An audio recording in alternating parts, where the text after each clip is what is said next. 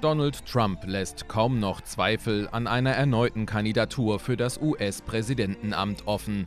Auf einer Wahlkampfveranstaltung sagte der 76-Jährige am Donnerstag, um das Land erfolgreich, sicher und glorreich zu machen, werde er es sehr, sehr wahrscheinlich wieder tun. I will very, very, very probably do it again, okay? Very, very, very probably. Very, very, very.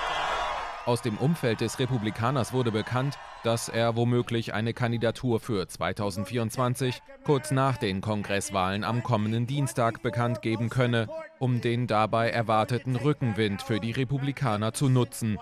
Trump habe sich demnach bereits nach potenziellen Mitarbeitern umgesehen. Trump hatte die Wahl 2020 nach nur einer Amtszeit gegen seinen demokratischen Herausforderer Joe Biden verloren.